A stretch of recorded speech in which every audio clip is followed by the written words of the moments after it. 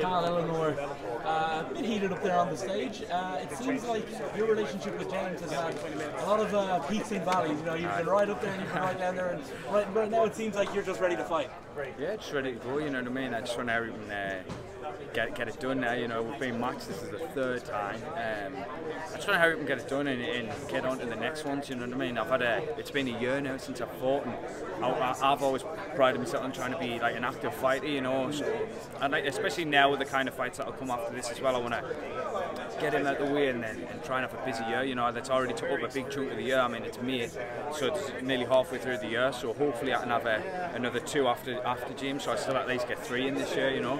Uh, James obviously is a guy who is a big star. He makes a lot of money, and he, he flaunts that a good bit. Yep. You are not so far in that situation.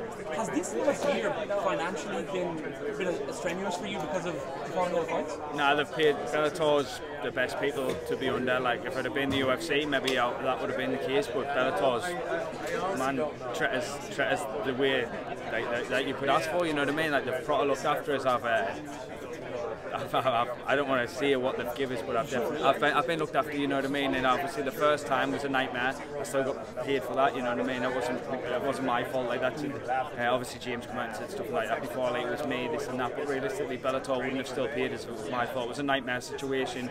I wanted to fight just as much as he, he said he did. So and then the second time, I still wanted to fight. I. I even offered to.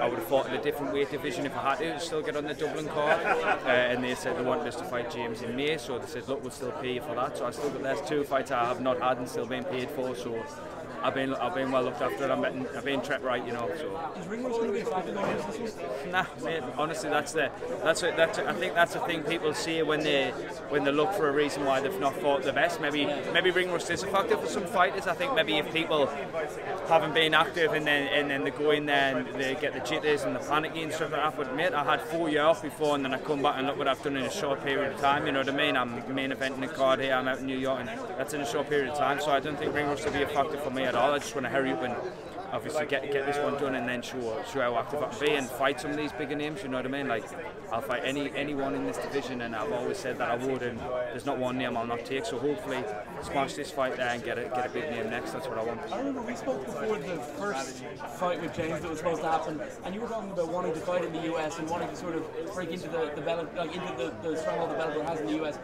they brought you over here to New York. They're obviously they put you up in a, in a nice hotel near Times Square, from what I can see on social media. I mean, do you feel like you're? Do you feel like the US is the next stop for you? Hundred percent. Um, I don't know how much I'm allowed to say about it, but regardless, what happens this fight, I've already said that I'll um, that I'll be fighting in the states next. So I don't know if they've got names in mind or wait to see how the fight with James goes and then give us an idea or what. But they've definitely said stateside next. So that's what I want. That's my dream. I've always wanted to fight out here my whole life, and that's the that's the way it's going to go. You know what I mean? Uh, we didn't get to see much of James. Obviously, he didn't fight you the last time, and uh, since since the last time you were seen against Labiano, he only did about 35 seconds with Roman Salazar. Although impressive 35 seconds, you know, the flying knee was good.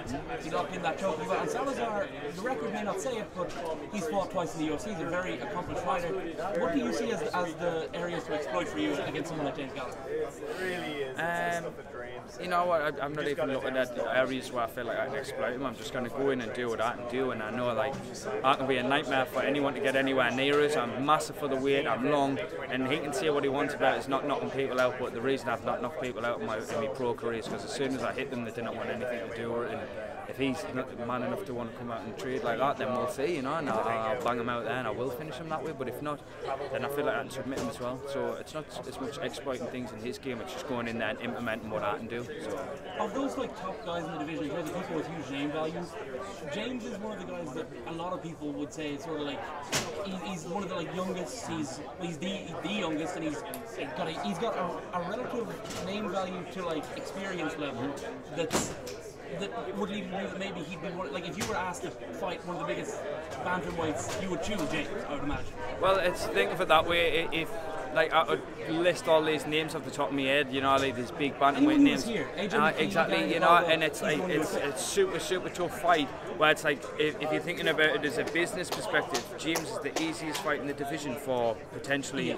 the most gain. You know what I mean? It's the most the most pros without the its little cons. You know yeah. what I mean? It's not like a uh, you know what I mean. I don't know I was meant to say, but basically, he, he, I feel like his skill set he's got a certain way he likes to fight, and I feel like the promotion that you get from fighting James, it's like high reward, low risk. So I feel like James is, the, for me personally, my style, I feel like James is the easiest fight in the division uh, for the most reward.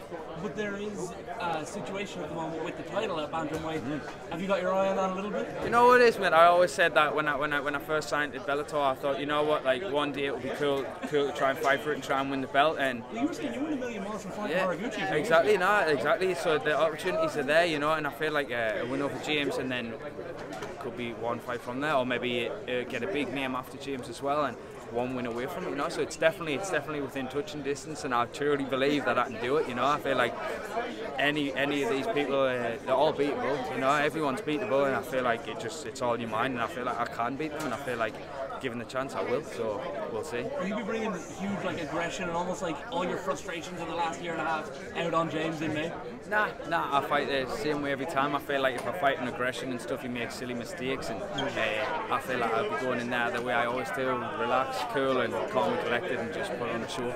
Uh, and the last one for me, uh, obviously you had a lot of people come over twice from Sunderland to uh, to Dublin. It, it's actually probably a longer trip to get to, to, get to London on the show.